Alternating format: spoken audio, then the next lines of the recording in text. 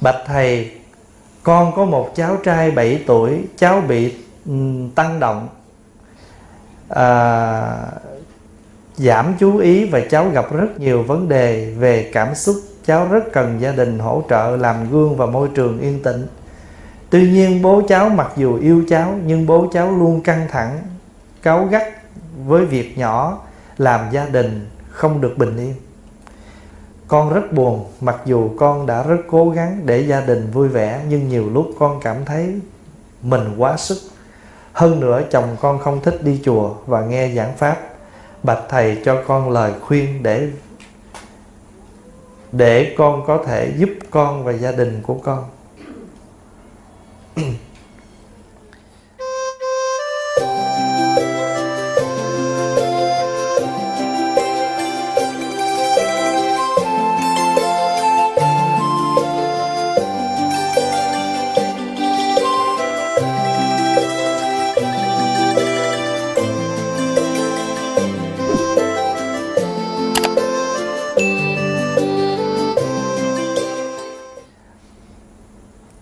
Thật ra khi mà đọc cái này á, là mình có thể tưởng tượng được cái một người mà sống trong một hoàn cảnh như vậy. Và thậm chí mình ước nếu mà người đó, mình ước được trở lại trước trước kia mà mình cho mình ước nguyện là có lấy chồng không? Mình sẽ nói không. Đó là cái cái cái thường, cái tâm trạng của mình. Khi mình rơi vào một cảnh như vậy, chồng nóng nảy, con bệnh tật, gia đình luôn luôn có những cái khó khăn thì mình ước rằng nếu mà cho mình chọn chọn một cái điều ước là mình sẽ ước rằng mình không có gia đình. Tại mình thấy rõ, khổ quá. Nhưng mà thưa đại chúng, tất cả nó không ngoài cái cái duyên nghiệp giữa mình với người. Thật ra nhiều khi á, bây giờ nè, chồng nóng nảy, con bệnh tật, đó là một cảnh giới. Một cảnh giới khổ đau. Và mình đang ở trong cảnh giới đó và mình chạy không có được. Bỏ chồng được sao bỏ con? Mà giờ bỏ chồng cũng không được nó ai phụ? Mặc dù ông hét ông la, nhưng mà thỉnh thoảng ông có phụ. Còn đỡ hơn là giờ mình ôm nguyên một mình. Cho nên tiến cũng không được, lui cũng không được, phải ở trong cảnh này. Vậy thì bây giờ hãy lấy cảnh này làm cái cảnh cho mình tu. Như đức phật thích ca sanh trong cõi ta bà này ngài không phải như phật di đà mà cõi có cõi tịnh độ cực lạc. Sáng ra chim hót hạnh phúc, bước ra ngoài cây lá reo cũng có tiếng này tiếng kia, toàn là hạnh phúc. Phật di đà có phước hơn ở cõi cực lạc. Còn phật thích ca sanh vô cõi cực khổ, là cõi ta bà này. Vậy nhưng mà, ngài không có khổ. Ngài lấy cảnh ta bà này làm đối tượng để ngài tu, và ngài đã nói rằng cõi ta bà này là cõi tịnh độ của tôi vì mỗi đức phật đều có tịnh độ của mình. Ngài địa tạng cõi tịnh độ của ngài ở đâu? Địa ngục. Vậy thì mỗi chúng ta đều có tịnh độ của mình hết. Hồi nãy pháp hòa thoáng nhìn có một câu hỏi là, nếu như mình đi đường, mình tụng kinh, mình trì chú trong xe có được không? Được. Ngay trong lúc đó, mình biến trong xe mình thành tịnh độ của mình. Tịnh độ on the road có những người á, người ta đi làm về là người ta online là người ta có tịnh độ của người ta liền. Tịnh độ online. Là người ta không còn biết chúng sanh nào xung quanh nữa hết. Người ta chỉ biết tịnh độ facebook của người ta thôi. Và có những người đang ngồi ăn cơm, tịnh độ ngay trước mặt là chồng, con, vợ con đang ngồi đó, nhưng vẫn có tịnh độ của họ là nhất dương chỉ quẹt bây giờ tịnh độ của tôi là cái phone đó. Bây giờ quý vị đi vô phi trường là quý vị sẽ thấy rằng không còn ai biết tịnh độ gì nữa hết vô phi trường một cái là người nào cũng chuối vô này. hỏi đang gì? Thiền. Đang tịnh độ. Cho nên á, bây giờ nè, nếu mình lỡ sanh, mình lỡ sống trong một cảnh khổ, đừng lấy đó làm khổ, mà phải lấy cái đó làm cảnh duyên để mình chuyển hóa, để mình tu tập nếu nói về mặt độ sanh, chúng sanh nào cũng cần độ. Thì bây giờ con mình là một chúng sanh, ông chồng nóng nảy mình là một chúng sanh. Và mình biết chúng sanh hay nóng nảy này nè, mình thường nói câu gì, ổng dễ phát lửa, thì mình đừng nói câu đó. Hoặc là nếu như lỡ ổng giận tức lên, mình im lặng. Vì cái sự im lặng của mình là mình cảm hóa cái nghiệp của mình với người đó thưa đại chúng mình nuôi con mình khi nó bệnh đó, là mình chỉ trả cái nợ thôi giữa mình với đứa con đó. Nhưng đối với một phật tử mình sâu sắc hơn đó, là mình dành thời gian mình tụng kinh mình sám hối mình niệm phật mình tạo phước để mình giải cái nghiệp chướng của đứa đó tính tận cùng để nếu nó tái sinh trong kiếp sau nó không còn khổ nữa. Mình giúp nó tận cùng của cái nghiệp của nó luôn. Đó là cái tinh thần hóa đạo của bồ tát. Đời này á, mình nuôi con bệnh, nuôi chồng bệnh, nuôi vợ bệnh đó là cái nếu đứng trưng trên mặt hiện tại đời này là gì? Đó là tình nghĩa. Ngày nào mình còn khỏe, mình vẫn là vợ chồng nhau mà. Thì bây giờ người đó bệnh mình chăm sóc, đó là cái nghĩa hiện tại. Còn nếu về nói nghiệp chướng thì mình với người này có nghiệp nợ trong quá khứ. Thì bây giờ mình trả, nhưng mà không có nói trả gì hết á mình đang làm một cái việc là giúp một chúng sanh. Có nhiều khi chúng sanh xung quanh mình mình bỏ rơi mà đi tìm những chúng sanh nơi khác mình giúp. Nó không thực tế. Đó. nhiều khi mình việc nhà mình mình không lo, mình chạy vô chùa mình rửa chén từ sáng tới tối. Còn mình về chùa, về nhà mình rửa có hai cái chén là mình nói từ sáng tới tối.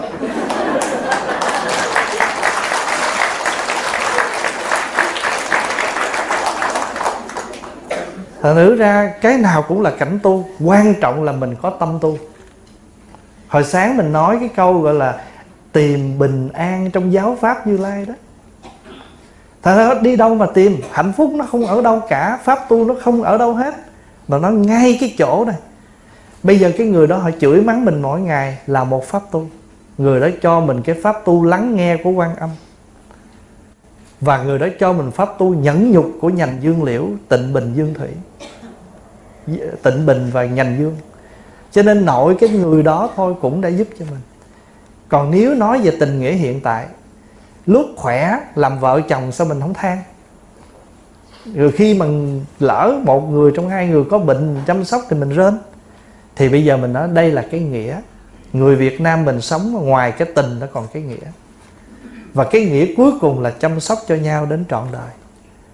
Còn quán gì nghiệp duyên Phải có vấn đề. Nhiều khi đời trước mình mượn của người đó. Bây giờ tự nhiên kêu trả mình không cam tâm. Giả bộ dụ mình trước. Làm vợ, làm chồng rồi bắt đầu mình cam tâm mình trả. Đó là mình nói theo cái cái quán về nghiệp thôi. Nhưng mà thường thường khi trả nghiệp là không gọi là trả nghiệp mà mình đang phát nguyện. Chuyển cái nghiệp thành ra cái nguyện và mình thấy rằng chúng sanh này cần đang được độ. Bây giờ quý vị nghĩ đi. Nếu mà bây giờ ví dụ như mình bỏ cái người đó đi, rồi cái người đó kiếm một người vợ khác đi, thì một người đàn bà khác cũng chịu khổ thôi. Thôi bây giờ mình lỡ chịu được 10 năm rồi, cũng hơi quen rồi. Thật thử ra có một bà già, quý vị nhớ trong cái cuốn à, cái cười của thánh nhân á, có một bà cụ đó, bà tối ngày bà đi ra đường bà la lên, bà nói, cầu cho bảo chúa sống lâu cầu cho bảo chúa sống lâu. Người ta mới nói, bà này chắc hơi hơi. Bảo chúa mà tại sao cầu cho ông sống lâu? Thì bà mới nói, đời tôi trải qua ba ông vua rồi. Ông vua một, ông ác có 10 à. Ông chiếm được ngôi cái ông lên, cái ông phòng thủ, cái ông ác hai chục. Rồi đến ông thứ ba diệt, ông thứ hai, rồi ông thứ ba lên, cái ông ông phòng người những người khác, ông ác gấp mấy trăm lần. Rồi tôi thấy tôi ngán quá rồi. Thì cái câu chuyện đó cũng giống vậy. Nhiều khi mình tránh cái vỏ dưa, mình gặp cái vỏ dừa mà vỏ nào cũng không vừa. Thật ra phải lấy cái cái đối tượng. Pháp Hòa hay nói lấy cảnh khổ làm duyên tu. Và Pháp Hòa xin thưa vậy nè, cuộc đời này mà mình không có khổ dễ giàu gì mình tu. Thật sự người mà tự động vui vẻ mà đi chùa mà tu có, nhưng ít lắm. Phần lớn là phải phải phải khổ lắm. Thí dụ như mình nhìn cuốn lương hoàng sám nó dày vậy nè, trời ơi, dày quá, có kinh sám hối nào ngắn ngắn không? Nhưng mà nếu nghiệp mình mà nặng tới nói tụng 10 cuốn đó mình cũng tụng nữa. Tại vì mình biết rằng tụng có trả giá. À, tụng có đổi chát, tụng 10 cuốn này cái phật cho mình hết nghiệp. Ví dụ vậy đó. Cho nên chúng sanh mình cũng có cái trường hợp như vậy. Ở đây thì pháp hòa chỉ mình không thể, cái cách của mình là mình quán và mình quan trọng là mình phải vững tâm. Khi mà cái tâm mình vững, cái tâm mình an lạc thì mình sẽ làm ra cái chất liệu an lạc, mình cảm hóa người chồng mình. Pháp Hòa nghĩ một ngày nào đó rồi, Pháp hoặc là có đôi lúc anh cũng nhìn lại, anh thấy anh cũng quá đáng. Và mình cũng đã nhẫn nại được tới mức thì tự nhiên cái người đó sanh cái tâm cung kính mình và cái người đó sẽ nhẹ nhàng hơn. Và bây giờ á, quý vị biết là mình có một cái nghiệp chung là đứa con này, một cái nợ chung là đứa con này. Thì mình phải nương người đó để mình trả, mình nương người đó để mình chăm sóc. Buồn thì có buồn mà không có khổ. Nếu mình nói mình không buồn là không đúng. Nhưng mà không có phải hệ lụy quá khổ như trước kia mình không hiểu vấn đề. Quý vị biết là con cá đó, thường á, nó ở trong một cái chậu có nước. Nhưng mà nếu mà nước nhiều á, thì nó tung tăng theo cái nước nhiều đó. Mà lỡ nước cạn còn chút thì nó cũng phải làm sao? Bơi lội tung tăng trong cái khoảng nước mà nó còn lại thôi. Thì mình cũng vậy à. Mình còn một miếng cơm như thế nào thì mình liệu mình gấp một miếng thức ăn đó để mà vừa với cái ăn của mình? Thì mình đã sống cuộc đời đều phải biết. Pháp Hòa kể câu chuyện à, người ta làm cái con ngọc trai hồi mùa hè vừa rồi trong khóa tu đó. thì người ta muốn làm một cái con trai á, xin lỗi cái hột bạch ngọc á, người ta lấy cát, lấy sỏi, người ta nhét vô trong bụng của con trai. Rồi khi mà nhét vô như vậy nó đau quá, trong lúc nó quá đau, thì tự động nó phải tuôn ra một cái chất nhờn. Nó bao cái hạt ngọc đó lại, bao cái hột cát đó lại để làm cho nó đỡ đau. Và lâu ngày thì cái hột đó đã trở thành ra một cái hột ngọc và đó là cách mà người ta tìm những cái hột ngọc trai. Rồi khi mà người ta mổ bụng nó ra, người ta lấy cái hột ngọc đó đó hột nào méo mó thì người ta đem ra, người ta làm kem sức mặt cho phụ nữ. Hột nào đẹp thì người ta làm những cái sâu chuỗi cho người phụ nữ đeo. Nhưng mà con trai, cái hột ngọc đó từ đâu mà ra? Từ một hột sỏi thôi. Nhưng khi nó quá đau thì nó phải tự tuôn ra một chất để bảo cái đó lại. Mình đã từng như vậy không? Có chứ. Cầm cái ly nặng quá, tự động kiếm cái gì bở ở dưới. Nóng quá là tự động kiếm cái gì, giữ vô. Lỡ cái tay đụng cái chân, hay là lỡ cái chân đụng vô cái góc tường, thì tự cái tay này ngồi xuống xoa nó. Nghĩa là chúng ta hãy đụng một cái gì khổ, thì tự động mình phải nghĩ ra cái cách nào đó để mình ôm được cái cái niềm đau đó liền, chứ không để nó như vậy khi mình đụng cái đầu mình vô tường có lấy cái tay dò liền. Mặc dù nó không hết đau, nhưng mà nó giảm đau. Và thậm chí nó chẳng giảm gì cả, nhưng mà mình cảm nhận được là mình đưa cái tay tới, mình an ủi nó.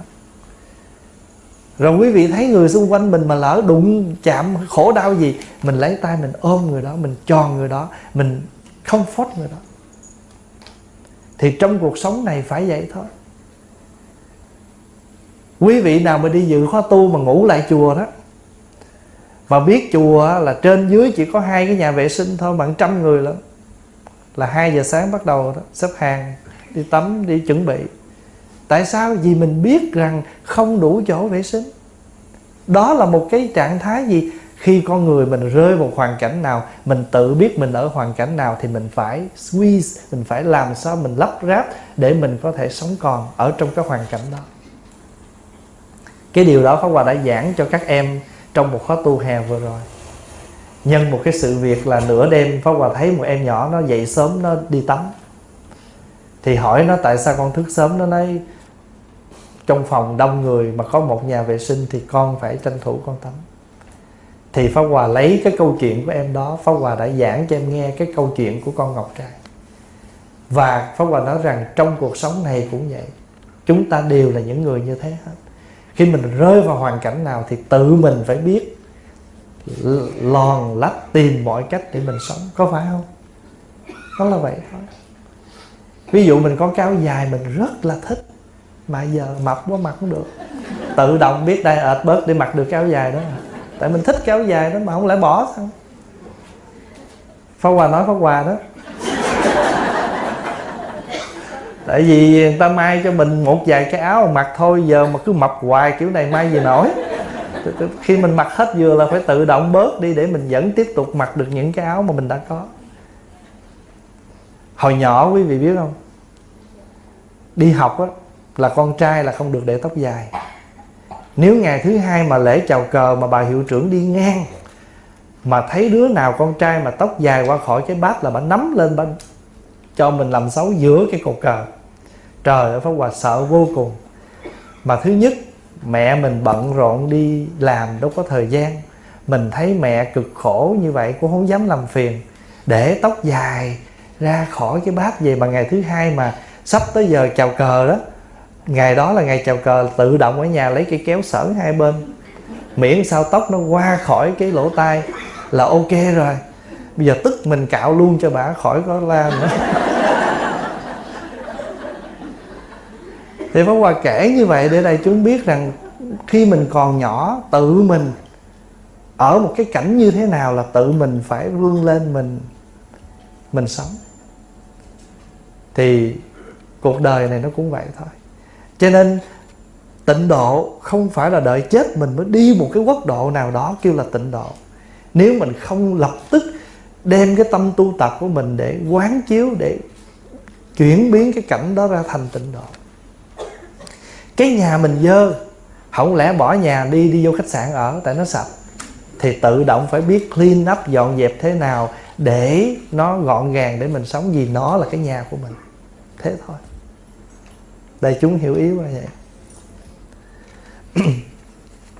Con rất kính mong thầy giải đáp uất ức trong lòng mẹ. Đó là ba con. Đời này ba giúp nhiều người sống hiền lành nhưng vẫn bị ung thư ác tính giai đoạn cuối. Mẹ không rõ vì sao ba lại bị như vậy. Ý nói giống như là mình trách đó. tại sao mình sống tốt quá mà giờ mình bị bệnh? Thưa đại chúng, cái này nó không liên hệ gì. Bây giờ quý vị cứ quán vậy nè. Trong cuộc đời này, có người nào mà không có một vấn đề để chết không? Phải có bệnh mới chết, phải có vấn đề gì mới chết được chứ. Và pháp hòa thường hay nói đùa đó, trên đời này không có gì chắc hết, chỉ có chết là chắc. Cho nên mỗi lần mình đụng chuyện mình nói chắc chết. Và mình đừng có lo là chắc chết, bởi vì chết chắc.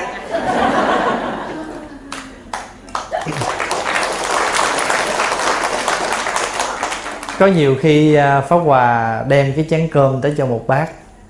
Nói trời trời ơi tội chết thầy ơi. Pháp hòa thấy thì đằng nào cũng phải có chuyện để chết.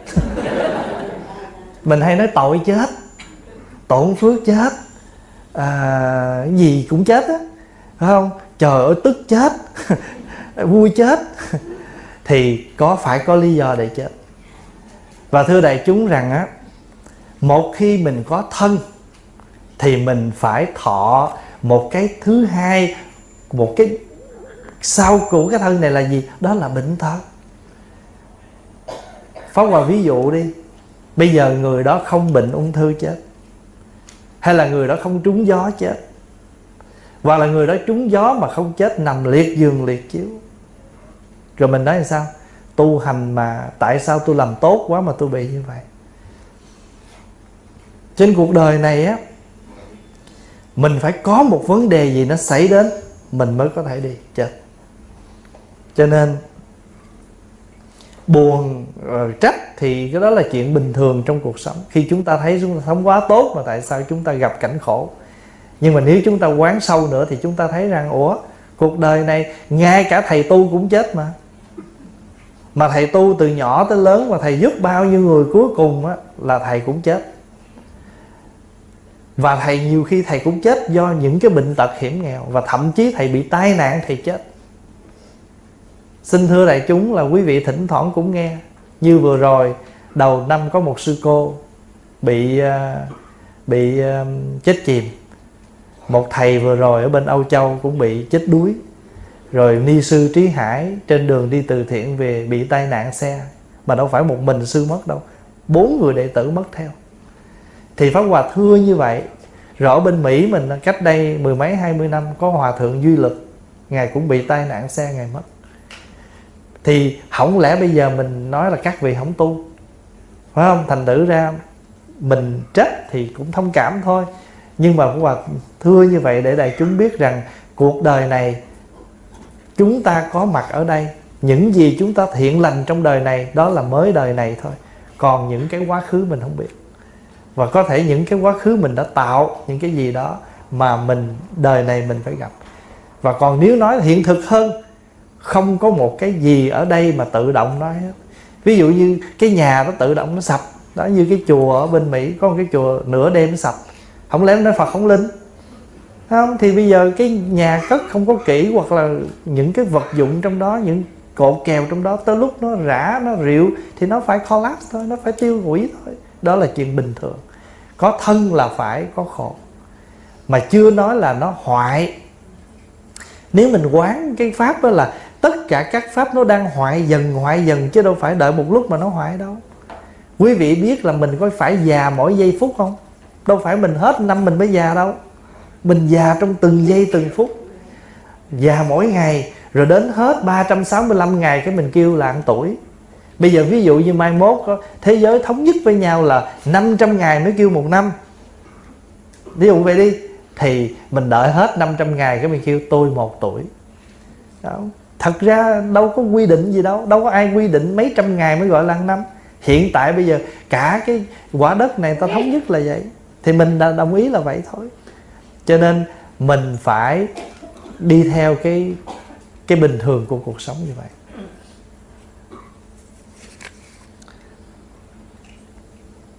Con có một em gái và một em trai. Con rất thương yêu em con, nhưng em con từ nhỏ đến giờ luôn hỗn và ghét con. Con phải làm gì để cho tâm con tịnh và không phiền não khi nghĩ tới tụi nó? Chà chiều nay mình hỏi, toàn là ghét bỏ vậy thưa đại chúng á, thí dụ như là mình à, nghĩ là mình thương người đó mà tại sao người đó ghét mình? Thì bây giờ mình nhìn lại cái cách thương của mình. Nhiều khi cái cách thương mình như thế nào cách mình đối xử như thế nào mà mình được mệnh danh là thương nhưng mà người đó không được nhận cái đó là thương mà người đó nhận là ghét. Không và ví dụ như mình bắt con mình đi ngủ sớm bắt nó ăn nhưng mà lúc nó nhỏ nó bây giờ nó nghĩ cái đó là thương hết á. Không? Nó nghĩ là mình khó khăn với nó nhưng khi nó lớn lên, nó mới cảm nhận được điều đó. Nhưng mà người mẹ có bao giờ vì người con nghĩ như vậy mà ghét người con không? Không. Thật ra bây giờ nè, vị phật tử này, nếu mình chỉ biết thương em mình thôi và không nghĩ gì nữa hết thì khỏi sẽ đau khổ dù người em đó có thương. Tại vì mình expect mình thương em mình thì em mình phải thương mình lại. Là chính mình muốn cái return đó cho nên mình khổ. Còn bây giờ mình thương là đủ rồi. Đâu cần gì nữa đâu. Nhưng mẹ thương con là được rồi. Có bao giờ mẹ tính sổ với mình không? Không. Mẹ không bao giờ, không có một người mẹ nào mà có cuốn sổ từ nhỏ tới lớn nó uống 500 bình sữa, xài 300 ký tả, không có. Không có người mẹ nào tính mình vậy. Tại vì tình thương là một sự dư để mà cho ra. Thì ở đây chị cũng vậy đi chị tập tình thương của bồ tát đi, cho ra thôi mà không có không có thu vô. Mà trong 10 điều tâm niệm nè, mình giúp người đừng mong cầu báo, vì cầu báo là có ý, có cái mưu đồ, có cái cái muốn trở lại. Thật ra bây giờ mình hỏi lại mình mình có thương thiệt chưa? Dạ con thương thiệt thương thiệt là no request. Không cần người đó phải return, mà có return là mình có đổi chác có bao giờ phật đòi hỏi mình gì không? Không.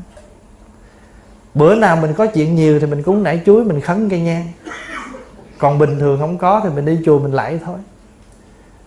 Thấy không? Mình tụng thời kinh có 15 phút thôi, Mà mình khấn tới 30 phút lận. Mình xin Phật tới 30 phút lận. Mình tụng có ba, Mình tụng có 15 phút à.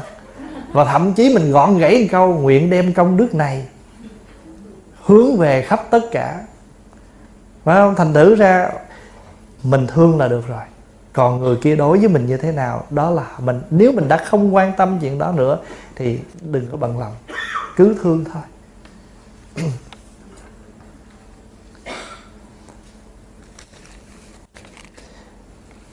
Uhm, con chúc thầy được nhiều an lành. Nếu con đi chùa mà thấy sư không đúng à sự không đúng của thầy thì con phải làm sao? Con có nên đến chùa nữa không? À. khi mình đến chùa, là mình đến chùa mình học cái hay. Ngay cả cái dở cũng học. Học cái gì biết không? Học cái vĩnh viễn không làm giống. Cho nên nếu mình biết đem cái tâm của người đi chùa, thì không có chuyện gì mà mình trở ngại hết.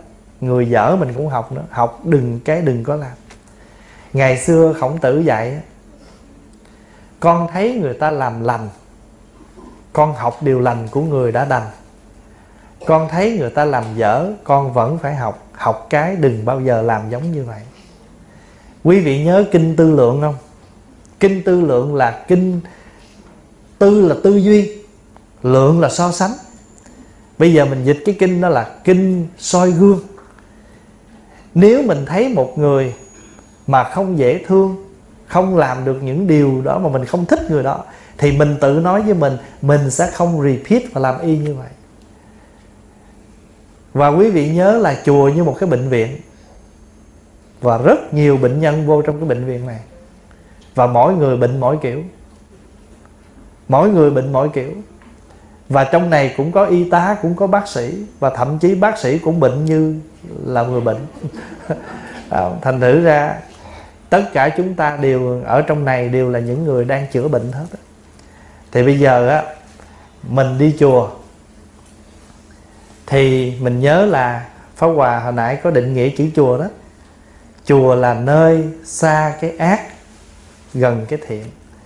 Thì cái gì mà xấu, Không đúng, Mình đã biết không đúng là tại sao mình phải quan tâm. Mà hơn nữa mục đích ngay từ đầu mình đi chùa đâu phải đi tìm cái người đó để mình làm gì đâu. Mà đa phần là hỏi đi chùa chi Đi chùa tu công quả. Ủa sao chị đi về vậy? Tôi bực cái bà đó tôi về. Nó trật, nó trật lất à. Đi chùa gì cái chuyện khác mà lát về gì chuyện khác.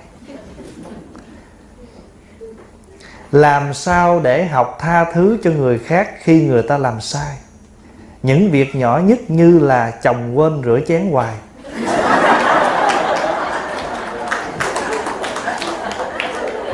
Mà các vị đức lưng quần nghe cho kỹ nha. Bữa nay bị thưa lên tới chùa rồi đó.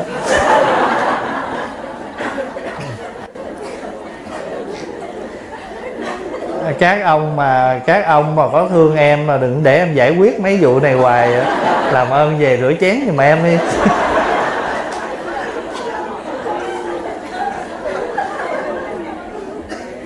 Riết rồi, em biết em là thầy chùa, thầy pháp là có một lần cái cô phật tử cô viết tờ giấy của nó, thầy ơi, con là đang làm bảo lãnh giấy tờ bảo lãnh con của con, mà nó rớt hoài à. Thầy coi có ngày nào được cho nó nộp đơn không? Tao qua nói trời ơi, cái đó của thầy pháp. Còn em là thầy chùa nhiều khi bí quá, hỏi đại ông thầy, không cần biết hỏi ông thầy nào. Cái đứa học trò mà nó làm toán nó cộng 1 cộng 1 bằng 2 rồi cái đứa kia nó nói 1 cộng 1 bằng 3 rồi cái đứa làm trúng nó dặn gân lên nó cãi. Rồi cuối cùng nó đem lên ông thầy xử. Ông thầy biểu cái đứa làm trúng nằm xuống đánh thêm trận. Nó tức cái mình, nó con làm trúng mà sao thầy đánh con? Nó thầy không đánh gì hết, đánh cái tội ngu. biết trúng mà cũng cãi với thằng trạch.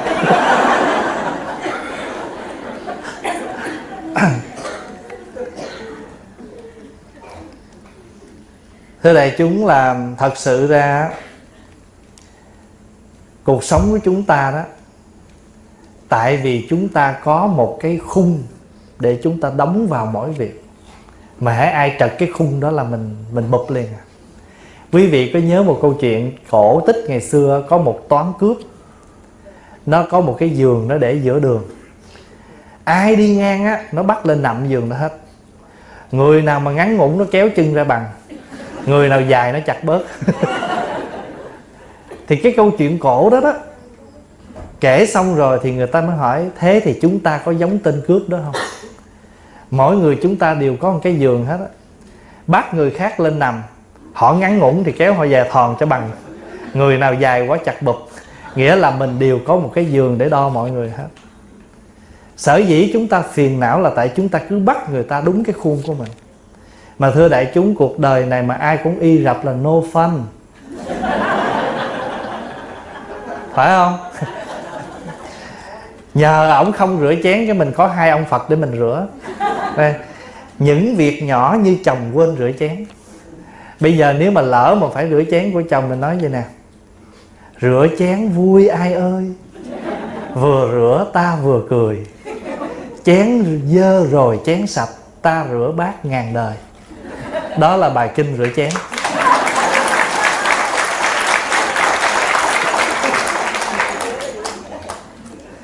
Nói như vậy không phải mà binh mấy ông nha. Nhưng mà tại vì nếu mà bây giờ, không lẽ bây giờ sau khi rửa chén là gia đình mình xào xáo? Thôi thì bây giờ quan trọng nữa là cái cách mình nói. Anh ơi, anh sao anh không rửa chén giùm em? Ổng nghe ông cũng mình xốp quá, ông cũng nhột. Chà, nội, có hai cái chén cũng rửa nữa.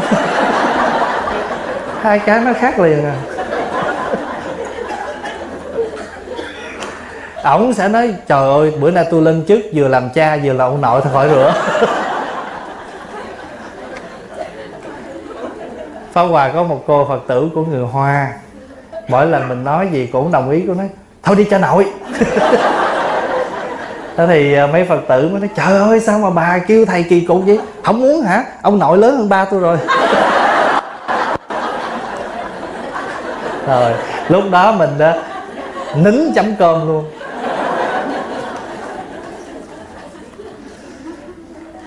Thật ra đôi khi trong cuộc sống á, thật ra thì nhiều việc nó cũng nhẹ nhàng thôi. Cái mình thì quan trọng quá một vấn đề cái nó thành ra quan trọng. Phó Hòa thưa đại chúng như nào? Nếu ở trong chùa mà các thầy muốn xử đó Một ngày có một tuần lễ cuối tuần hai ngày Phật tử vô công quả là đều có hai ngày để có chuyện để xử. Tại vì sao? Không có người nào mà giống người nào. Rồi bây giờ người nào lên mét cũng xử sao? Ai lên nói già già mô phật để để để thầy tính. Già già già mô phật để thầy tính. Già già dạ, mô phật, thưa cô quan hỷ thì để thầy lo. Nhưng mà thiệt sự, thầy có lo mà lo không có nói. Tại vì thầy biết, thầy nói xong thầy lo hơn. Khi việc gì mình cũng mang ra nó thành vấn đề là vấn đề nó lớn. Có nhiều khi mình phải nghĩ là mình đang hạnh phúc mình được làm một gì đó cho người thân của mình. Quý vị biết là nhiều lúc đó, phó hòa cũng phải đi chùa nhà cầu. Phó hòa cũng phải đi lượm dép. Phật tử cuối tuần về là bỏ dép tứ tung hết. Phó hòa cũng phải đi lượm từng đôi dép để lên kệ. Cuối tuần là lên tây thiên hốt rác theo tây thiên về trúc lâm làm theo trúc lâm. Mà toàn là ai? Toàn là tử đệ của mình không? Không lẽ mình vừa đi chùi cầu mình tụng nó, mà nó cũng có nghe đâu? Mà rốt cuộc mình tụng mình nghe, mà tụng xong tay cũng phải làm và mỗi cái miệng nữa. Thôi giờ thà mỏi tay khỏi mỏi miệng. Thì thưa đại chúng là trong cuộc sống á, người mà thấy việc làm á, muốn làm á, thì không có lúc nào không có việc để làm. Người không muốn làm rồi á, rác trước mặt cũng không thấy có việc để làm thật sự là cái cái quan trọng là cái nhẹ nhàng của mình. Mình cứ làm riết rồi thế nào mà nói vậy rồi mình hết hơi sao? Không, thôi cũng tốt, hết hơi sớm thì cũng khỏi hết hơi trễ. Từ việc lớn tới việc nhỏ, ngay cả co-worker, những người làm chung với mình. Bây giờ công việc đó là công việc chung. Mình cứ làm hết sức của mình thôi chứ không bao giờ mình hết việc. Thí dụ mình hết ngày việc tới đó, ngưng. Pháp Hòa thường hay suy nghĩ như nè Bây giờ cái công việc này là việc chung.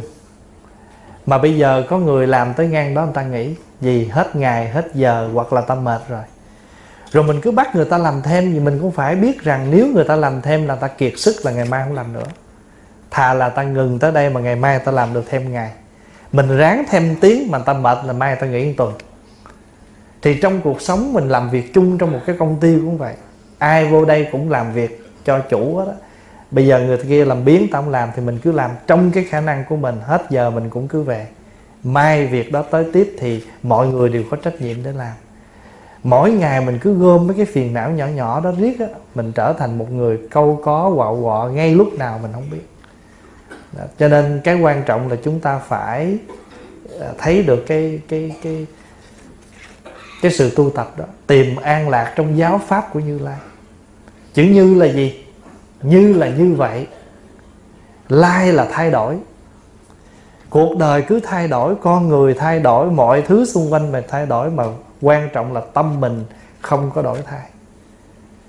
Bây giờ quý vị nhìn coi, sáng nắng chiều mưa mà. Mà nếu tâm mình nó sáng mưa chiều nắng là tự nhiên ta, thời tiết người ta không nói nghe, mà mình đã đổi thay là người ta lên án mình liền không có ai mà ra đứng giữa đường nó vô duyên lắm nha. Tự nhiên sáng nắng chiều mưa, mà mình mà đổi thay là nói nói mình liền. Ta nữa mình thôi, giữ sao? Giữ cái tâm mình như cuộc đời cứ lại cuộc đời này mình đến như vậy, mình sẽ đi như vậy. Mình đến không có gì, rồi mình đi cũng sẽ không có gì. Không bao giờ mình đến, đức phật cũng thế. Ngài đến như vậy và ngài đi như vậy, cho nên mình gọi ngài là như lai ngài đến cuộc đời này, ngài cũng xâm giống bình thường thì ngài cũng chết bình thường. Cho nên ngài rất bình thường. Còn ví dụ như mình đến bình thường, mình đi không bình thường, mình nghĩ là mình ôm cái gì, mình nắm cái gì, không có. Không có gì. Thậm chí tiền của mình để lại, người ta cũng lấy cái đó, người ta mua đồ giả, người ta gửi vô. Mình để trăm lại ta đi lấy trăm, người ta ra chợ, người ta mua sắp giấy tiền giả đó mình ta để vô.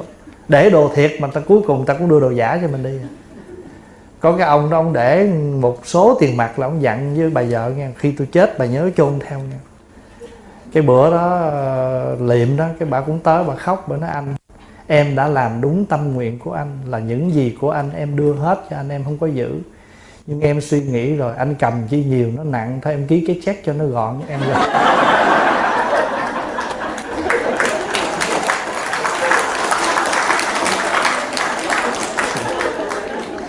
ký kiểu đó ký 10 check cũng được không?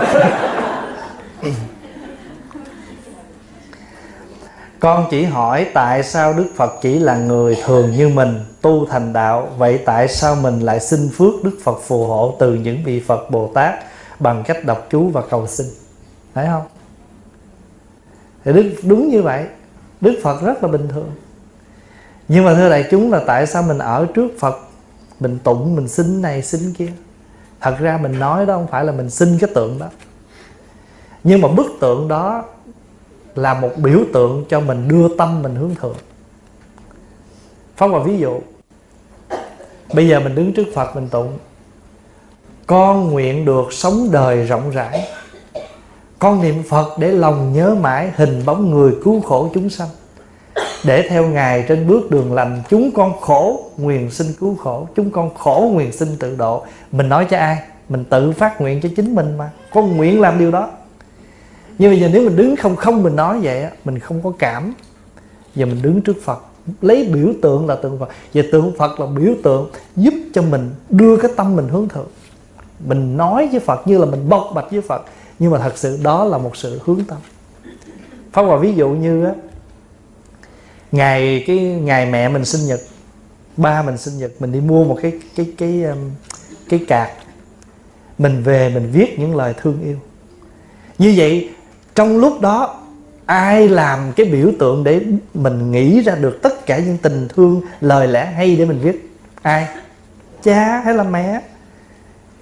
Thành nữa nếu cha là một đối tượng chủ của cái cạc đó Thì tất cả những hình ảnh đẹp gì của người cha mà mình muốn nói Và mình hứa với ba, mình thương ba, mình viết ra Ba lúc đó là biểu là cái đối tượng để tâm mình phát khởi những cái hình ảnh đẹp.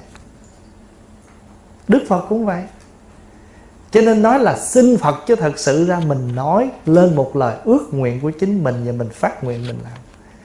Và thưa đại chúng này con xin nguyện thành tâm sám hối tất cả nghiệp chướng của con nguyện cho con nghiệp chướng tiêu trừ. Con xin nguyện sám hối mà. Vậy thì phật là biểu tượng chứng để mình nói lên, con xin nguyện sám hối. Thì mai mốt ra người ta làm gì sai, thôi, tôi sám hối rồi, tôi muốn làm điều đó nữa. Phật phù hộ chưa? Phù hộ rồi. Phật phù hộ bằng cách là ngài cho mình, ngài ngồi đó, ngài làm biểu tượng cho mình. Cho nên không có sai. Nhưng mà pháp hòa giải thích sâu để đại chúng thấy rằng tại sao chúng ta phải đứng trước phật làm điều đó? Phật đâu có ăn trái cây mình cúng đâu. Nhưng mà mình đem lên mình cúng đó là gì? Đó là một biểu tượng. Và mình đem trái cây đây là đây là những kết quả của con làm được. Trái là quả mà. Và cái quả mình đôn cho cao lên. Và khi mình cúng như vậy là mình đang biểu tượng rằng con nguyện nhắc nhở con cái đạo lý của nhân quả. Có làm đúng là quả nó sẽ đúng. Trồng ớt ra ớt, trồng cam ra cam. Cho nên chữ cúng phật đó nghĩa là mình cung dưỡng trở lại cho chính mình. Thật sự ra, mình đem cái gì mình cúng bằng phật cuối cùng là cúng mình hết á. Đem nãy chuối xanh dờn lên cúng vậy chứ, chính xuống là cúng cho mình. Đem trái sầu riêng lên để nó cúng phật chứ chứ, phật chưa kịp mổ trái sầu riêng là mình đem xuống mình mổ mình ăn rồi thành nó biểu tượng thôi. Cho nên phật chỉ là người thường phật không ban gì được cho mình. Nhưng mà phật là biểu tượng để mình đưa tâm hướng thượng. Mà khi mình tích phước mình tạo thiện thì tự nhiên cái thiện cái phước đó nó là cái quả nó chuyển nghiệp cho mình.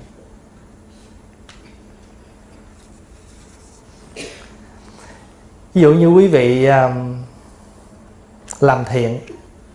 Làm xong việc thiện là tự quả thiện nó đến à. chẳng cần phải nói gì hết á nhưng mà tại sao khi mình làm gì xong mình hồi hướng cho người thân? Vì cái hồi cái giây phút mình hồi hướng đó là trước khi hướng là mình đã hồi rồi. Hồi là quay trở lại đó mình declare lên con con nguyện à, à, bố thí hôm nay để hồi hướng cho người đó.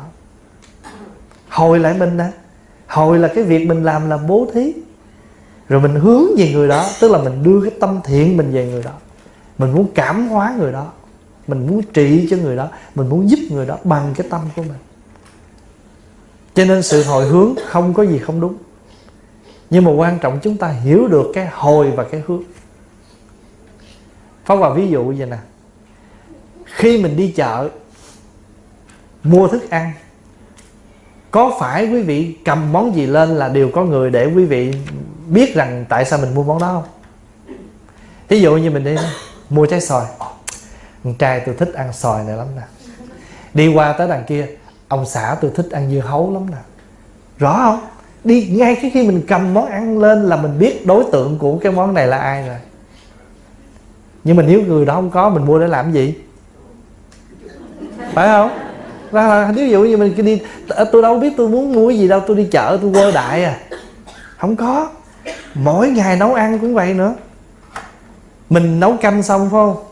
Trước khi mình để rong biển vô, Cái mình múc cái chén canh riêng ra, Mình nói, tại vì má tôi không thích ăn rong biển. Cả nhà, mấy đứa con tôi nó thích, má tôi cũng thích. Bởi vì trước khi tôi để rong biển vô, tôi muốn chén canh riêng ra cho má tôi. Hướng chưa? Hướng chưa? Hồi chưa? Hồi rồi. Hồi là quay trở lại, hướng là nghĩ về người kia. Biết rằng má mình không thích ăn rong biển, cho nên quay trở lại múc chén canh để riêng trước khi để rong biển vô liền tôi biết con tôi không ăn hành cho nên tôi múc riêng một chén canh cho nó rác nữa tôi để hành sao cho đứa con kia. Thật ra cuộc sống này chúng ta làm đều có cái chỗ chúng ta hướng hết. Thì Đức Phật cũng vậy. Hình ảnh của Ngài là biểu tượng để chúng ta hướng tâm. Mà đặc biệt là những Dù quý vị nhìn tượng Phật cái thôi Mặc dù Ngài không nói gì, Ngài không làm gì Nhưng mà tâm mình an lại liền. Mình cảm nhận một sự bình an khi ngày mình nhìn Ngài, Mình nhìn bức hình của Ngài. Mà không biết Ngài có giống vậy không? Không biết. Tại vì mình không gặp được ngài. Tất cả những hình ảnh cũng trừ từ cái sự tưởng tượng của mình mà phát họa ra thôi. Chứ không có gì mê tín. Nếu chúng ta làm mà chúng ta hiểu ý nghĩa chúng ta làm, thì không có gì mê tín hết. Tuần rồi có bà đi giảng ở Maui, Hawaii. Thì nhà thờ à, Thiên Chúa giáo đã cho chùa mượn nguyên cái thánh đường để mà chúng ta pháp thoại. Tượng chúa đứng cao ở trên phó hòa ngồi dưới. Và quý vị biết là mỗi bữa vi vào buổi giảng trước khi giảng pháp hòa đều chắp tay hướng về chúa xá. Rồi pháp hòa ngồi xuống giảng giảng xong và đứng dậy xá chúa. Tại vì nhờ ngài đứng ở trên cho nên mình ngồi nghiêm túc. Thật là cái biểu tượng ở trên dù là chúa hay phật cũng là cái điểm để chúng ta biết là bậc thánh thì tự nhiên mình nhiếp tâm. Điều đó không có gì sai hết. Thành thử ra mình làm mà mình hiểu đó thì không có gì trở ngại hết. Ngay cả mình phải chịu đựng một người chồng, một người vợ, một người cha, một người mẹ, đều là cái cơ hội cho mình tăng trưởng cái phước thiện hết.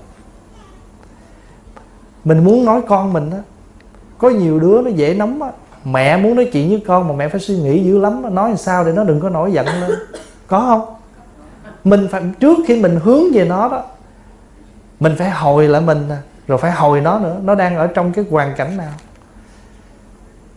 Mấy thầy mấy chú ở trong chùa pháp hòa muốn nói chuyện gì là pháp hòa phải xuống giả bộ hỏi trước bữa nay đi học về vui không con? Khỏe không? Có ăn cơm chưa? Có nhiều bài vở làm không? Nói dạ bữa nay con nhiều bài lắm. Ờ à, thôi con làm đi mặc dù sắp sửa la rầy gì đó, nhưng mà nếu nó nhiều bài quá, mình kêu nó lại mình giảng moran xong lát nó bấn loạn, nó khỏi làm gì hết luôn. Muốn nói cũng phải coi coi, tới, nó đúng lúc để nói không? Mà nhiều lúc muốn nhờ nó gì cũng phải nhờ, phải lựa lúc nhờ nữa. Nó đang ngủ mà mình dựng nó dậy những cái chuyện không cần thiết thì cũng không nên. Trên cuộc sống này cái sự tu tập của chúng ta, nó nằm ngay ở trong cái cách mà chúng ta hồi và hướng. Trước khi hồi trước khi hướng phải hồi. Và pháp hòa hay, hay thưa đại chúng là hồi hướng có bốn cách. Hồi nhân hướng quả hồi sự hướng lý hồi tiểu hướng đại hồi tự hướng tha.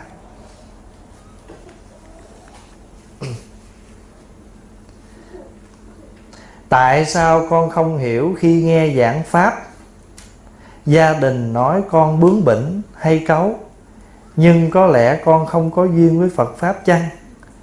Xin chỉ cho con một cách để con có thể kiên nhẫn nghe pháp lâu hơn.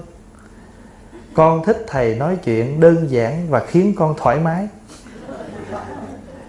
Thì cũng giống thôi, thật sự ra mình cho ông thầy đó giảng pháp là nó tự nhiên thành bài pháp. Còn mình nghĩ rằng thầy đang chia sẻ, thầy đang nói những kinh nghiệm gì đó là nó ra.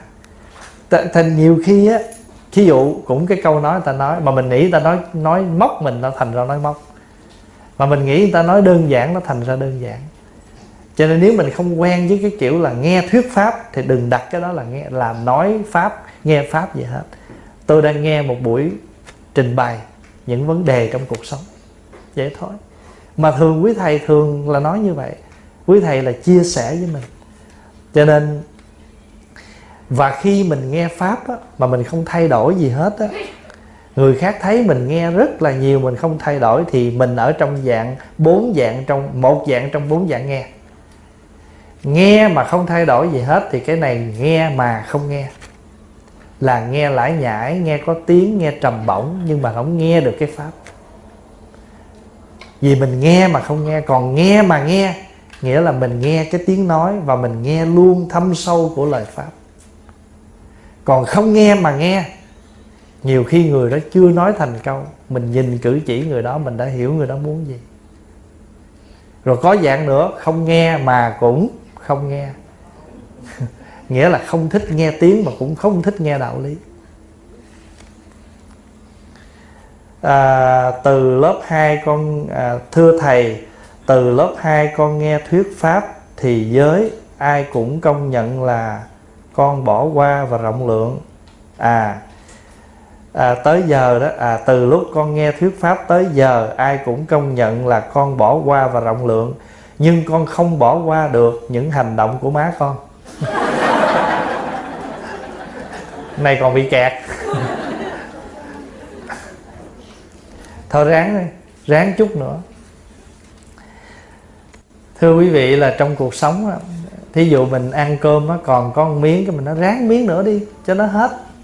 Thì thôi bây giờ là mình ráng chút nữa cho mọi việc nó bình. Cuộc phá hoại hay ví dụ vậy nè. Có nhiều lúc phá hoại ăn cơm, thì mình thấy trong cái dĩa thức ăn đồ kho đó, cái có những trái ớt ta kho chung.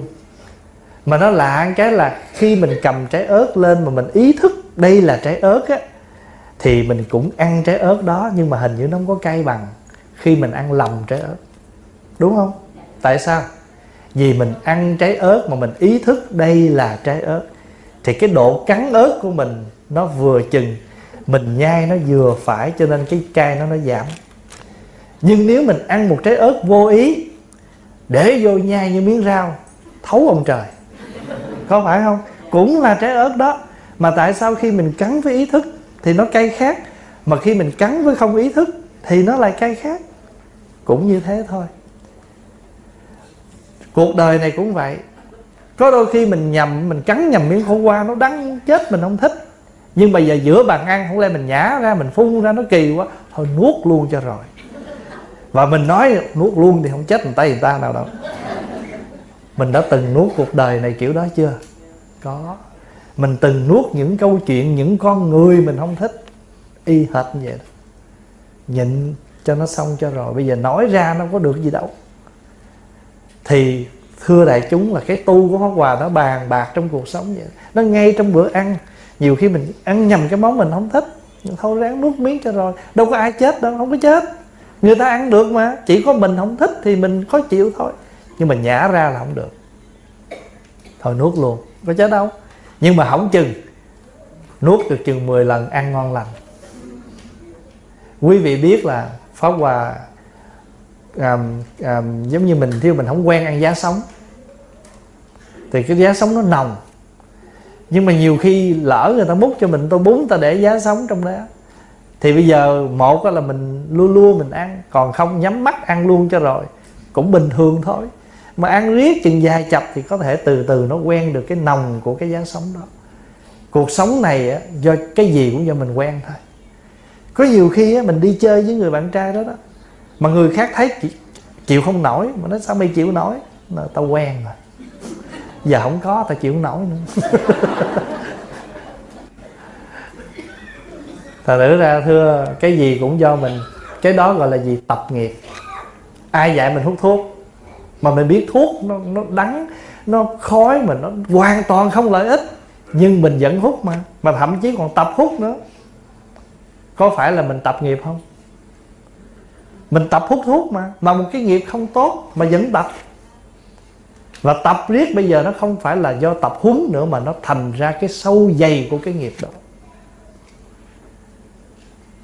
Cho nên rồi cái tốt cũng vậy. Hồi đầu mình tụng kinh mình tụng đâu có được nhưng mình biết đây là nghiệp tốt, thôi ráng tập. Tập riết nó thành ra một cái tập nghiệp của tốt.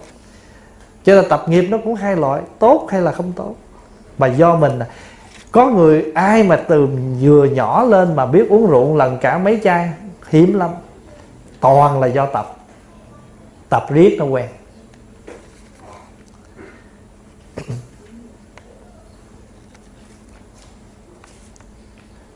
Ngồi đi không sao đâu, sắp xong rồi.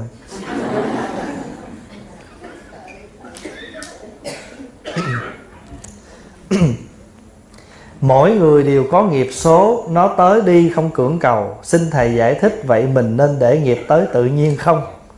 Tự nhiên không sợ hãi và lo lắng.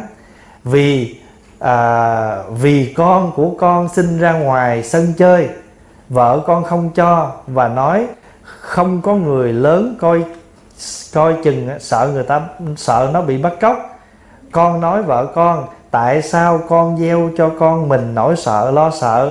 Mà mình không biết nó có xảy ra hay không, phải do, phải để duyên nghiệp. Quý hiểu câu hỏi không? Tức là một người vợ không cho đứa nhỏ ra ngoài sân chơi vì sợ con mình bị bắt cóc. Thì ông chồng phản ứng lại đó là tại sao gieo trong đầu đứa con mình một nỗi sợ hãi và tại sao không để tự cái do cái nghiệp. Thưa hiểu cách này cũng không đúng. Mà mà gieo rắc kiểu kia thì cũng không phải thật ra thì cái ăn thua là cái cách mình nói thôi. Thí dụ như bây giờ mình nói là thật sự ra là khi một đứa nhỏ nó ra sân nó chơi, thì về do nó không nó không có cẩn thận, thì có thể nó chạy ra ngoài sân, không phải chuyện bắt cóc mà tai nạn cũng có thể xảy ra.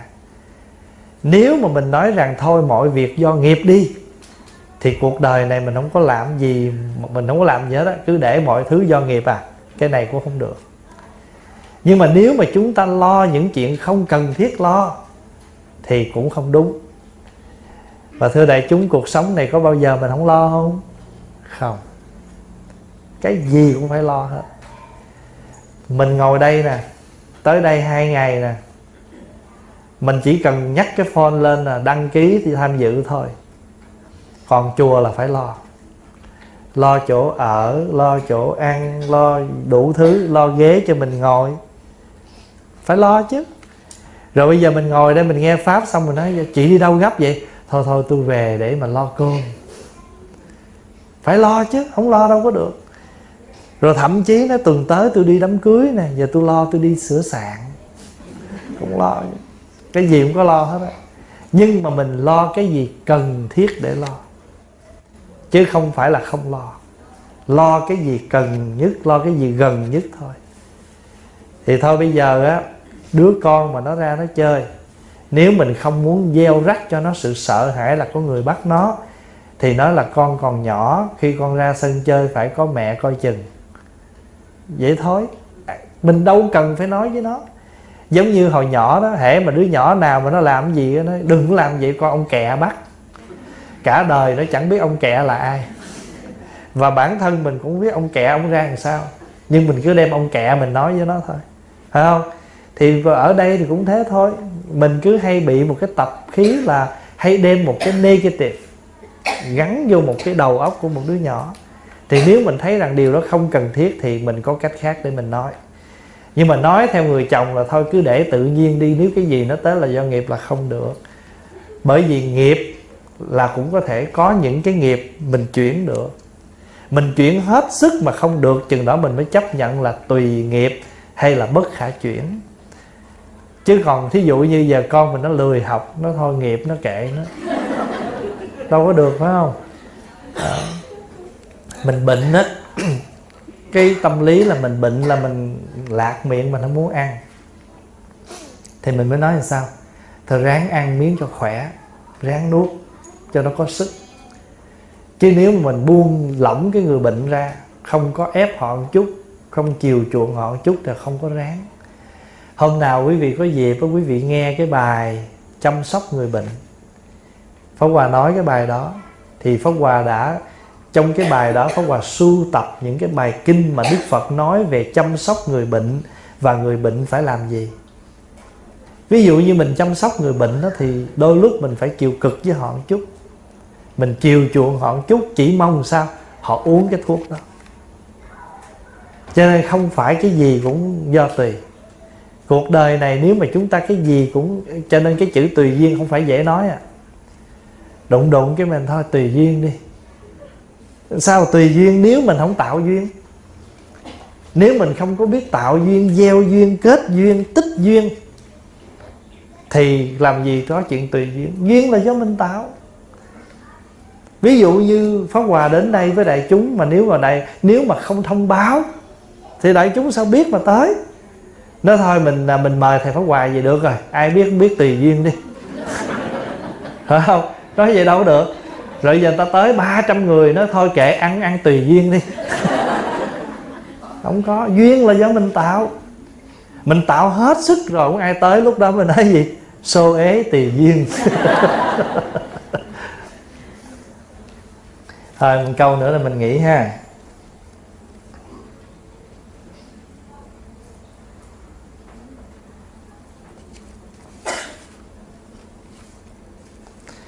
Trước tiên con xin rất biết ơn những lời dạy quý báu của Thầy Và chúng con luôn kính chúc Thầy được nhiều sức khỏe. Vì bon chen cuộc sống hàng ngày nên con tranh thủ trì chú Đại Bi mọi lúc, mọi nơi, Khi lái xe cũng như những lúc trong công việc hoặc sau khi công việc xong.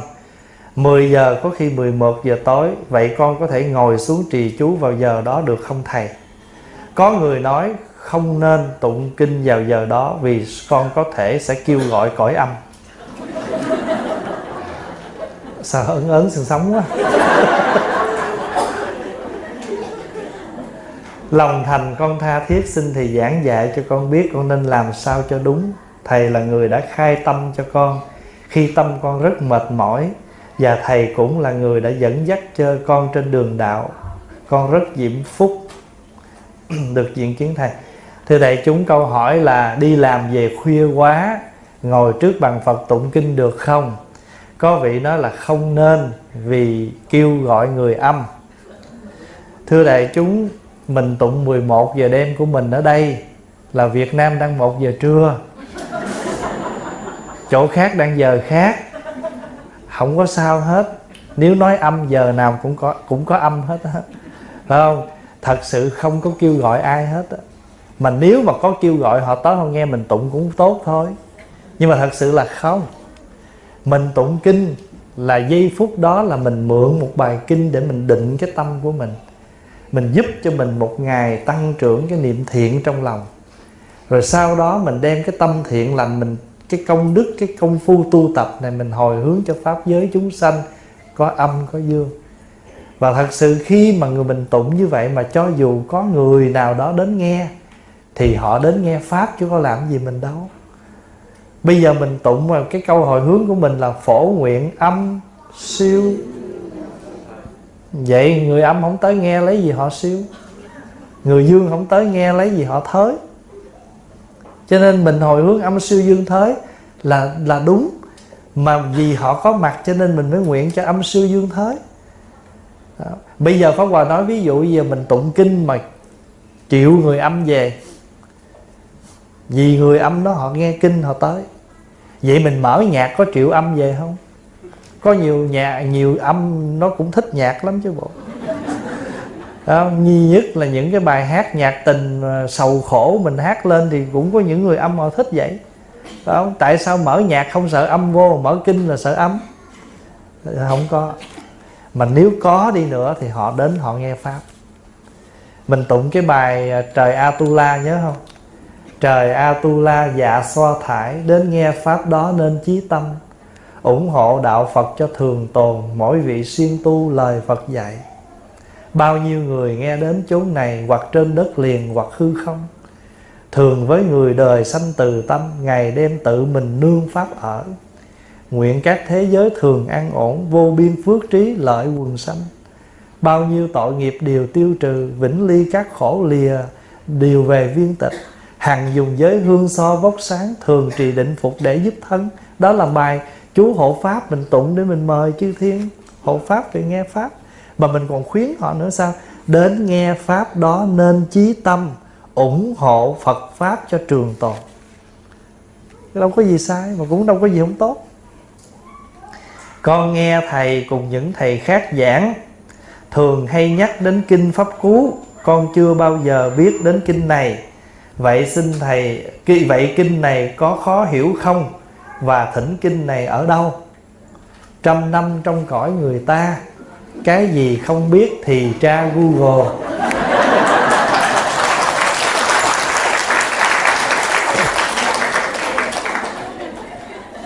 Bây giờ trên internet á, có đủ các dạng kinh pháp cứu.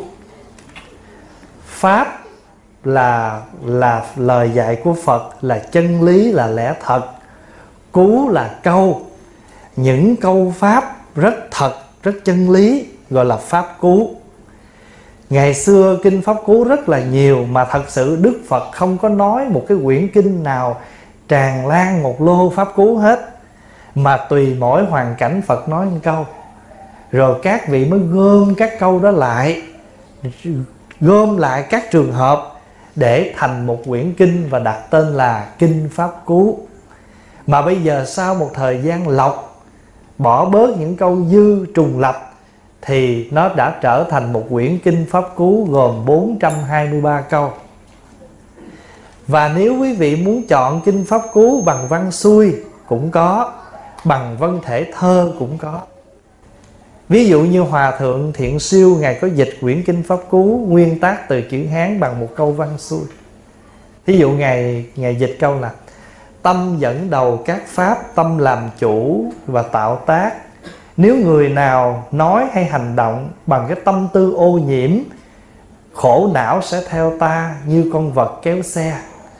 Thì đó là câu trường câu văn xuôi.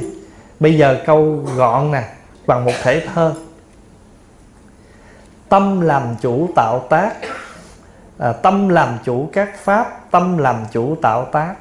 Nếu nói hay hành động với tâm tư ô nhiễm khổ não sẽ theo ta như con vật kéo xe. Đó là kinh pháp cú rồi quý vị cũng sẽ có một quyển kinh pháp cú nữa là trích, tích truyện kinh pháp cú nghĩa là bây giờ người ta lấy một câu pháp cú đó ra và người ta giải thích cái câu đó nghĩa là gì và câu chuyện nào, lý do nào đức phật nói câu đó. Qua chừng ở trên internet, quý vị có thể chỉ cần bấm kinh pháp cú là hiện lên hết kinh pháp cú có chỗ gọi là kinh lời vàng à, vân vân. Và bây giờ kinh pháp cú là một bản kinh được dịch ra rất nhiều thứ tiếng. Tiếng anh tiếng pháp tiếng đức tiếng việt tiếng hoa và rất nhiều thứ tiếng khác. Bởi vì sao? Bởi vì kinh pháp cú rất là gãy gọn dễ nhớ. Và phật tử theo nam tông gọi là nam truyền phật giáo đó phần lớn phật tử là phải thuộc một số câu kinh pháp cú. Và thậm chí có vị thuộc hết luôn á.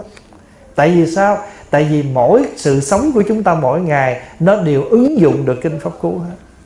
Ví dụ, người ta khen chê mình mình vui buồn, nghĩa là lên xuống quá chừng theo cái khen chê, thì mình sẽ nhớ một câu kinh pháp cú như hòn đá kiên cố, không gió nào lay động, người trí cũng như thế, không lay động giữa khen chê trong khi mình bị người ta khen chê, mình buồn, mình vui câu kinh pháp cú đó đi ra giúp cho mình chuyển hóa cái vui buồn của mình. Mình hận thù người kia quá, do người đó chửi mình, mắng mình đủ kiểu, thì kinh pháp cú đi ra. Nó mắng tôi, chửi tôi. Nó nói tôi, mạ lị tôi. Ai nuôi hiềm hận ấy, hận thù sẽ không nguôi. Ngược lại, nó mắng tôi, chửi tôi, nó mạ lị tôi. Ai không nuôi hiềm hận ấy, hận thù sẽ tự lui như mái nhà khéo lợp mưa không thể lọt vào. Cũng vậy tâm khéo tu, não phiền không xâm phạm. Như mái nhà vụng lợp, mưa ắt sẽ lọt vào. Cũng vậy tâm không tu, não phiền sẽ quấy nhiễu. Đó là kinh pháp cú. Cho nên quý vị nào mà thuộc kinh pháp cú thì cuộc sống này, mỗi ngày chúng ta sẽ có một đối tượng để chúng ta gặp và kinh pháp cú sẽ đi ra làm một cái pháp hướng dẫn mình. Cho nên mình không niệm phật thì mình niệm pháp. Niệm phật là lâm râm, nam mô gì là phật gì đó. Còn mình niệm pháp là mình nhớ kinh, nhớ những bài kinh. Ví dụ quý vị thuộc mấy câu kệ cũng tốt vậy. Lặt rau nè, lúc mình lặt rau đó. Mặt trời xanh rờn, một rổ rau tươi. Vạn pháp nương nhau làm nên cuộc sống. Khi mình lặt rau đọc bài kệ đó, khi mình tưới tưới rau ngoài sân, ngoài vườn tôi gửi tôi cho đất đất gửi đất cho tôi. Tôi gửi tôi cho phật phật gửi phật nơi tôi. Mình quét nhà mình đọc kệ lên. Đẹp thay sự quét dọn tịnh nghiệp ngày thêm lớn. Đi đổ rác một thùng rác, rác bẩn một bông hồng tươi muôn vật chuyển hóa thường trong vô thường. Đổ rác dơ mà không thấy nó dơ tại vì mình thấy trong dơ có sạch trong sạch có dơ. Vậy thì niệm pháp niệm phật, niệm pháp, niệm tăng. Vậy là kinh pháp cú là vậy đó. Và quý vị, nếu lỡ quý vị nào không biết tra google nữa như quý bác đó, thì quý bác có thể email về chùa trúc lâm. Xin kinh pháp cú thì bên chùa sẽ gửi cho mình quyển. Này đặc biệt cho quý bác lớn tuổi thôi. Mà bây giờ nhiều bác cũng hay lắm. Rất là high tech á. Chứ không phải low tech đâu.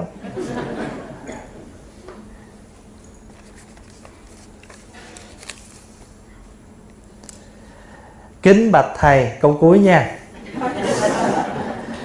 Chúng con ngưỡng mộ thầy đã lâu. Con chúc thầy sức khỏe dồi dào Để tụi con nghe thầy thuyết pháp đều đều. Con xin hỏi nếu con nói với chị bạn là đi nghe thầy, Chị ấy nói, Thầy không có gì đặc biệt. Con nghe mà giận ghê. Binh binh binh thầy cho con hỏi là phải làm sao? Con chỉ nói là con yêu thích thầy, không cần biết là có gì đặc biệt, hay không? Này là khi đã yêu còn lo sợ gì?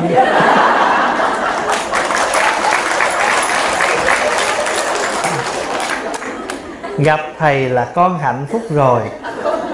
Nhưng con phải làm sao để thầy đặc biệt với chị như là con? Đây là một chủ đề lớn nha.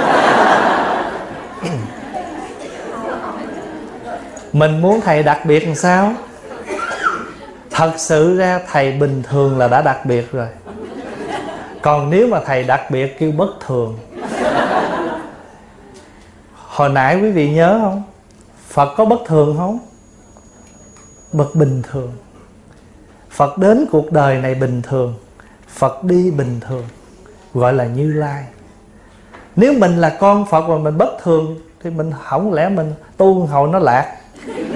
Phật bình thường thì mình cũng là bình thường. Và chính mình bình thường cho nên mình mãi mãi thường.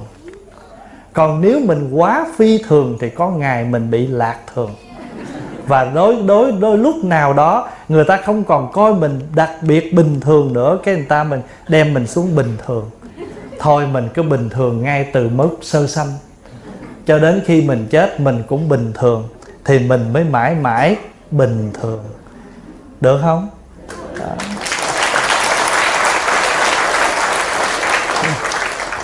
có một chú tiểu đó, chú nói chuyện với một chú phật tử trong chùa.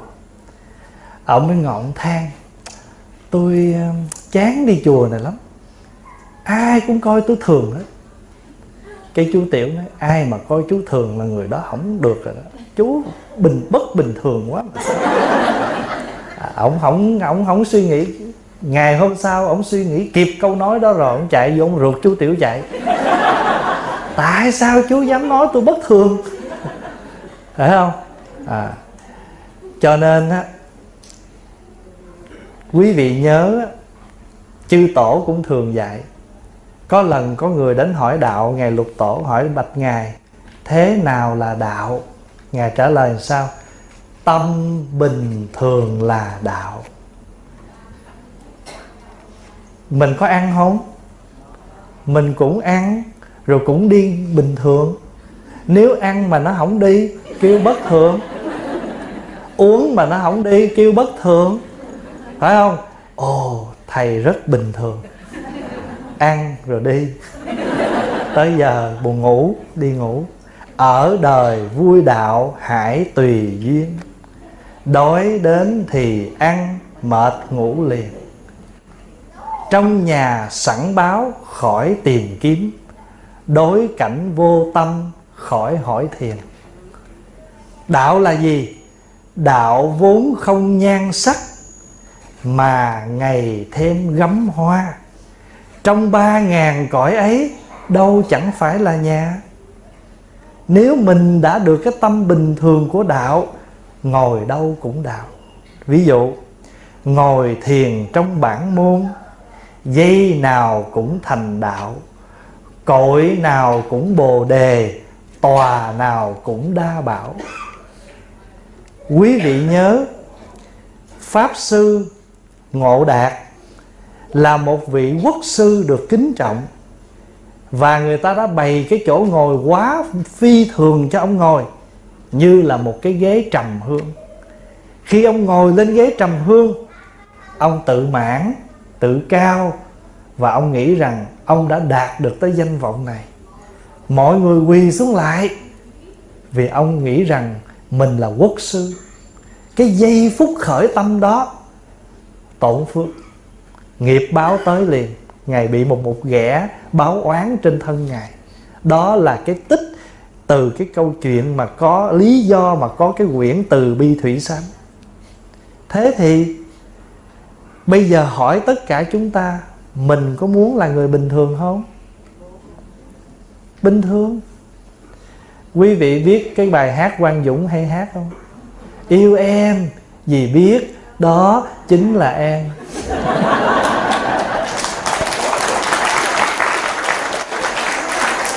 Nếu em không phải em em là cái gì? Sao anh dám yêu? Đó, thành thử ra bình thường thôi. Thành thử là thầy bình thường là đúng mà không phải riêng thầy. Thầy nào bình thường là được. Tại vì sao? Chính cái bình thường mình ngồi đó nó mới không cực. Phải không? Mình ngồi chỗ nào cũng bình thường nó nguy hiểm. Mình nói những điều không bình thường nguy hiểm cứ bình thường thôi mỗi ngày vẫn ăn uống bình thường, ngủ nghỉ bình thường, nói pháp bình thường, tu tập bình thường. Mình ở ở ngáp ngáp cái nó mình bất thường. Là nữa thôi, đại chúng mình nhớ cái bài nãy và nói, phải không? Phật Pháp bao gồm tám vạn tư. Tu hành không thiếu cũng không dư. Đến nay tính lại trừ quên hết. Chỉ nhớ trên đầu một chữ như. Như đó là gì? Như vậy mà sống, mà tu, mà thành được những gì mình làm. Vì không nếu nó không như vậy Thì cái quả nó cũng sẽ là không như vậy. Cái người đó họ chê mình khùng. Không sao. Ờ tôi khùng. Khùng mà biết văn mùng chảy chiếu.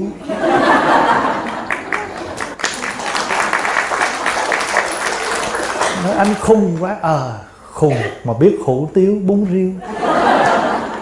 Anh càng khùng hơn dạ khùng mà biết yêu. Khùng biết văn mùng chảy chiếu, khùng mà biết ăn hủ tiếu bún riêu. Khùng mà biết yêu, vậy có thiệt khùng không? Không. Cho nên ai gặp mình hỏi sao, lúc này chị có gì đặc biệt không? Nói sao? Bình thường. Rồi lỡ mà cuộc sống mình nó sóng gió, nó bất thường, nó sao? Tôi chỉ mong mình là bình bình thường thôi bình thường hết nha. À, để cho mọi người thấy mình thường.